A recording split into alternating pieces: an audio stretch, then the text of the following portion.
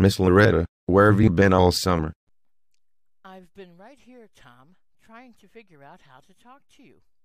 My computer has technolaryngitis. Technolaryngitis? What does that mean?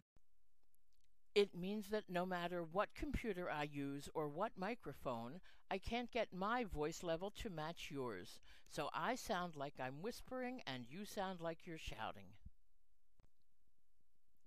I hate to do this to you, Tom, but for the time being, I think we need to have our conversations in private. And my recent news posts will have to be the same old written word that they used to be. Well, I surely do feel awful. Goodbye, ma'am. You don't need to say goodbye to me, Tom. You and I will still talk. But for the rest of you who've enjoyed listening, this is goodbye.